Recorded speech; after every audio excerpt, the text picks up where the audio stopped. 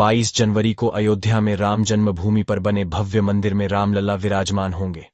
उत्तर प्रदेश सरकार ने इस दिन सरकारी छुट्टी का भी ऐलान किया है।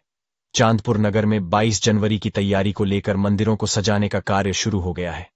मंदिरों में श्री रामचरितमानस के अखंड पाठ का आयोजन किया गया है। वहीं दूसरी ओर कुछ मंदिरों में 22 जनवरी को हवन, पूजन, कीर्तन, भजन संध्या कार्यक्रम आयोजित होगा। सातों इमली स्थित ज़ाहिर दीवान पर पंचवट्टी के स्वामी विशाल कर्णवाल द्वारा श्री रामचरितमानस के अखंड पाठ का आयोजन कराया गया है। शंकर मूर्ति स्थित शिव होलिका मंदिर में भी श्री रामचरितमानस के अखंड पाठ का आयोजन किया गया है।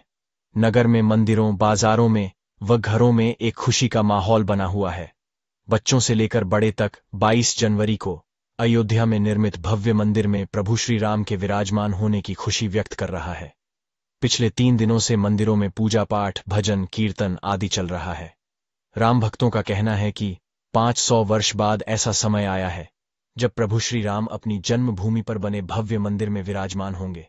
यह सनातन धर्म की सबसे बड़ी जीत एवं उपलब्धि है। चांदपुर से अजय कुमार कौशिक की रिपोर्ट।